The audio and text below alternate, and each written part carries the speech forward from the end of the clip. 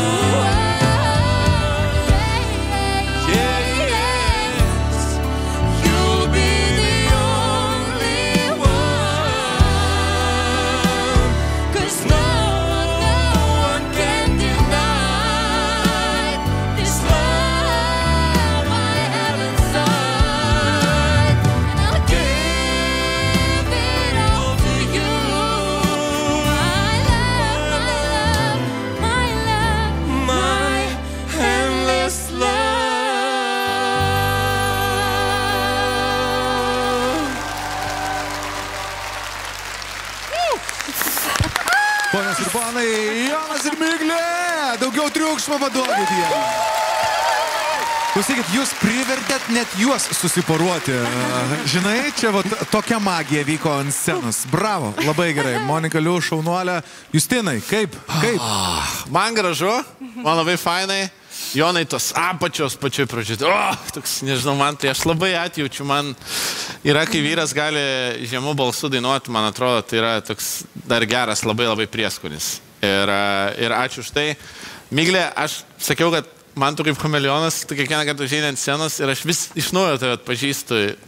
Ir uh, nuostabu klausytis, jūsų duetas iš viso yra. Aš buvau užburtas, man labai patiko, man faina buvo su Monika susikibus pajudėti ir, uh, ir atrodot fantastiškai. Ir vėlgi kažkur, nežinau, iš šokio, šokio aikštelę buvau iškviestas visom mintim ir buvo labai Aš tikiuosi, tie, kas žiūri mus dabar e, per televizorių, irgi, žinok, susiglaudė, susiporavo. e, Kažkaip tikiuosi, meiliai leidžia dabar laiką. Monika, kaip tau? Jūs įžebėt pas Justiną empatiją, meilę.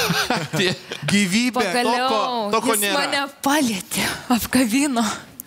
Žodžiu, buvo gera.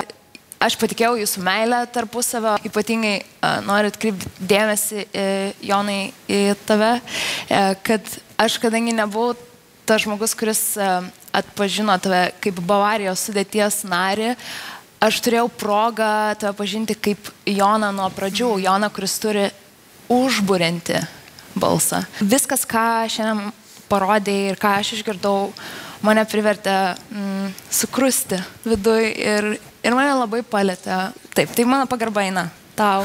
O Miglė, aš na, tau noriu pasakyti tik tiek, kadangi aš tave žinau žymiai ankstesnių etapų savo gyvenime. Aš tik noriu pasidžiaugti Monikos Lių darbu su tavim, kad pagaliau praeitam etape man tu nepatikai. Man nepatiko, kas, koks buvo tavo amploa ir tu nebuvai savim. Ir šiandien atsiskleidai taip, kaip tik galėjai gražiausiai. Tai labai labai, labai, labai. Donatai, scena čia. puikus duetas. Ir aš noriu būti labai atviras Jono atžvilgiu. Turint omeny, kiek šiais metais yra talentingų dalyvių, aš pasakysiu, ką Jonai aš galvojau. Uh, ir už tai noriu šiek tiek uh, gal atsiprašyti tavęs, nes tokia vidinė jaučiu momentą, matant tave, sugrįžus po pertraukos. aš galvoju, man atrodo, kad yra talengesnių žmonių, labiau pasiruošusių. Ir aš galvoju, vieni krenta, o tu esi šitame etape. Ir šitas kol kas pirmas ir vienintelis pasirodymas, kur aš uh, duodu vėl gyvenimo eigoje savo per nagus, uh, kad neskubėk. Duok žmogui tą galimybę, duok tą šansą ir aš labai už tave džiaugiuosi. Aš, aš, aš visiškai, aš turiu pripažinti, ne aš tikėjau, ne aš, ne, aš mačiau istoriją, kuri gali patikti žmonėm, bet aš nemačiau tavęs kaip po to talentingo dalyvio atėjusio Lietuvos balso. Man rodos, kad liktais tai anksčiau tau turėjo pasibaigti, bet aš tave taip džiaugiuosi, aš džiaugiuosi Monikos Liu intuicija. Aš labai džiaugiuosi. Ir aš džiaugiuosi, kad tokie pasirodymai tave gražina pelnytai ten, kur tu esi. Jonai sveikinu. Puikus partneris esi, o, Miglė turėjo tą pajausti. Tvirta ranka, žvilgsnis, Jonai tavo patirtis, tas žemas balsas, jis pagaliau buvo vietoj. Puikus duetas, sveikinu Ačiū, mokytoją. Donatai. Aš tik tai Monikai Liū noriu priminti, kad čia nėra duetas, čia yra dvikova ir a, vienas iš šių dalyvių privalės iškristi, o kitas eiti toliau. Ir tavo pasirinkimas. Šita daina yra labai sudėtinga. Ir kaip yra netikėta, kad šita daina abiems jums tapo toksai tarsi gelbėjimo ratas. Nes žinote, po nokauto etapo man daug kas klausia, kodėl Miglė, kodėl Jonas. Bet šitoje vietoje tu teisus, Donatai, mano intuicija rėkia man. Ir man net, nu šiek tiek buvo klausimų, bet aš, aš tikėjau. Švelni, e, graži diva. Tu tokia esi. Tu žydį scenoje man šiandieną ir tu esi nuostabi partnerė Jonui. Dėl to, kad Jonas tave priima labai gražiai. Mes matėme šiandieną pavyzdžių, kur nelimpa duetas ir, ir viskas. Jūsų klyjei yra aukščiausio lygio. Jis labai skaniai kvepia.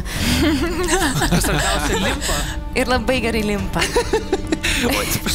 Ir nors šitas turėtų būti man labai dramatiškai sudėtingas sprendimas, man kažkodėl nėra, nes aš žinau, kad tas, kuris išeis, išeis iškeltą galvą, nes yra gera išeiti padainavus taip ir atlikus tokį kūrinį.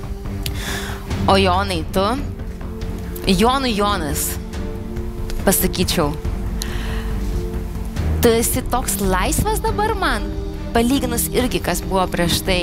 Atrodo, kad tu išsprendėjai kažkokią savo vidinę, kažkokią stalčių tu susitvarkėjai, uždarėjai, jisai labai sklandžiai ir gerai užsidarė. Ir dabar tu laisvas eiti pirminį daryti, ką tu nori. Ką tu su to darysi, man yra labai įdomu. Man įdomu yra, ar tu sugrįši į sceną. Ar tu sugrįši su kūryba. Aš asmeniškai to laukiu.